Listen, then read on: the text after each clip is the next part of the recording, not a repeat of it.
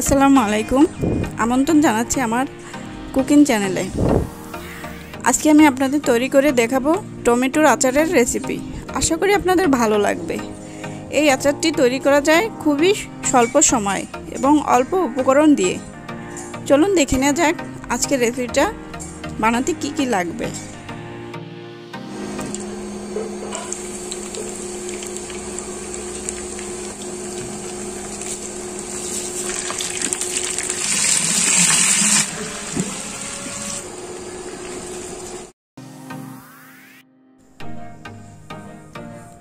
আমি এখানে দেড় কেজি পরিমাণ পাকা টমেটো নিয়ে নিয়েছি। আপনারা চাইলে কম বেশি নিয়ে নিতে পারেন। আর টমেটোগুলো অবশ্যই ভালো মানের নিতে হবে। নরম টমেটো নেবেন না। আচারটা যেহেতু আমরা একদিনে খেয়ে ফেলব না, বেশ কয়েকদিন রেখে খাব, তার জন্য ভালো টমেটোগুলোই বেছে নেবেন। আমি এখানে টমেটোগুলো এভাবে করে টুকরো টুকরো করে কেটে নিয়েছি। আপনারা চাইলে আরেকটু বড় সাইজের নিয়ে নিতে পারেন। আর এরকম করে ছোট ছোট করে কেটে নিলে হবে কি, তাড়াতাড়ি রেসিপিটা হয়ে যাবে।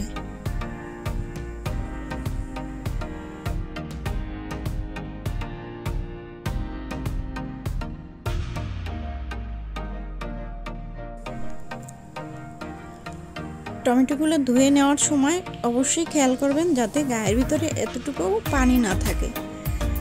পানি থাকলে অবশ্যই সেটা মুছে নেবেন।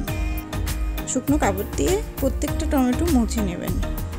তারপর এভাবে করে টমেটোগুলোকে কেটে নেবেন। আপনারা চাইলে ছোট ছোট পিস বা বড় পিস করে যে যেভাবে কেটে নিতে চান, কেটে নিতে পারেন।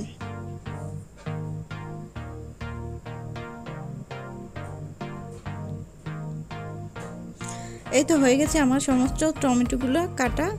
এবার আমি মেইন প্রসেসে চলে যাব।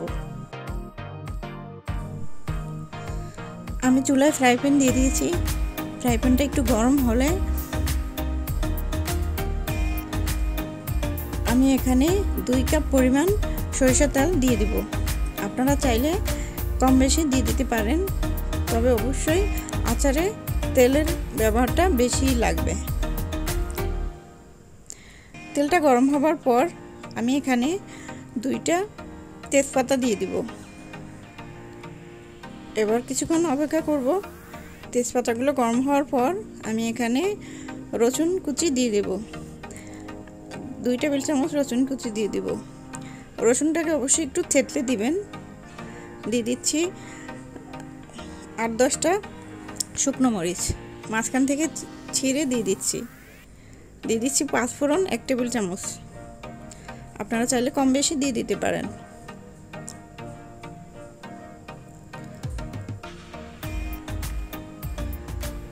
দিয়ে দিচ্ছি আস্ত সরিষা, এক টেবিল চামচ। এটাও আপনারা চাইলে কম বেশি করে দিয়ে দিতে পারেন।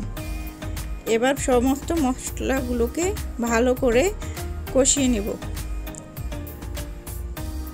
যখন একটা গ্রান বের হবে এবং মরিচগুলো একটু লালচে আকার ধারণ করবে তখন বুঝে নিতে হবে মশলাটা আমার কষানো শেষ।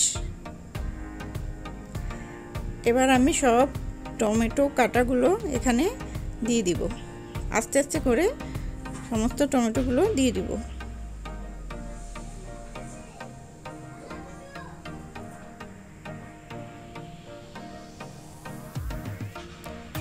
দিয়ে দিছি এক এক চা চামচ হলুদ গুঁড়ো, দুই চা চামচ মরিচ গুঁড়ো। আপনারা চাইলে এটাও কম বেশি দিয়ে দিতে পারেন। যে যেভাবে ঝাল পছন্দ করেন, ওইভাবেই এটাকে ব্যবহার করবেন। দিয়ে দিচ্ছি স্বাদ মতো লবণ। দিয়ে দিচ্ছি স্বাদ মতো চিনি। এবার আমি ভালো করে মিশিয়ে দিব। নেড়ে চেড়ে মিশিয়ে দেবো টমেটো লোকালাকে সব মশলার সাথে ভালো করে মিশিয়ে দিব।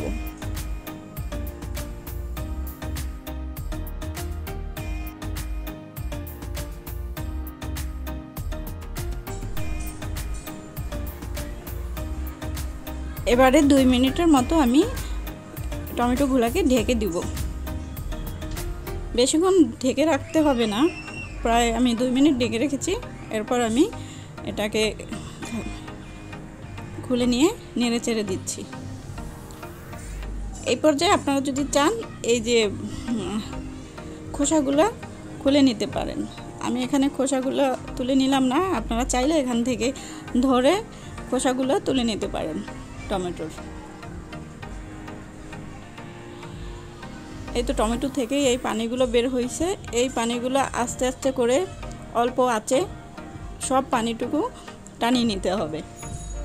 এই পর্যায়ে একটু ভেঙে ভেঙে দিবেন টমেটোগুলো, তাহলে খুব সহজেই পানিটা কমে আসবে।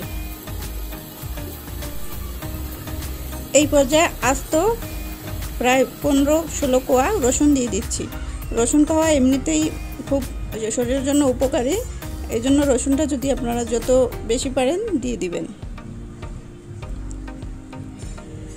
দিয়ে দিচ্ছি তেঁতুলের টক। তেঁতুল অনেকক্ষণ মানে অনেকক্ষণ পানিতে ভিজিয়ে রেখে যেই মাঠটা বের হয়ে ওইটা আমি দিয়ে দিচ্ছি। আপনারা চাইলে তেঁতুল ছাড়া যেই কোনো টক থাকে ওইটাই দিয়ে দিতে পারেন। কিন্তু টক অবশ্যই দিতে হবে। দিয়ে দিচ্ছি সিরকা প্রায় এক টেবিল চামচ। আর সিরকা দেওয়ায় হয় কি, আচারটা নষ্ট হবে না। অনেক অনেক দিন ধরে সংরক্ষণ করা যাবে। দিয়ে দিচ্ছি ভাজা জিরে গুঁড়া।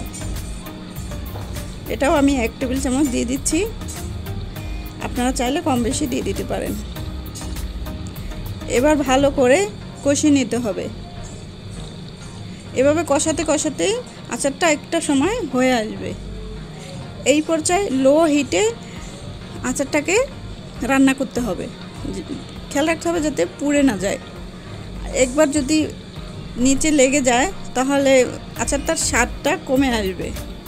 এই জন্য এই পর্যায়ে কাছে থেকে বারবার করে নেড়ে চেড়ে দিতে হবে।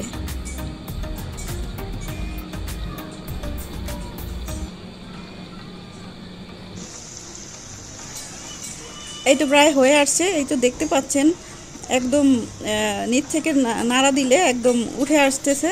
এই পর্যায়ে বুঝে নিতে হবে, আচারটা আমার হয়ে গেছে। এই তো এখন আমি নামিয়ে রাখব।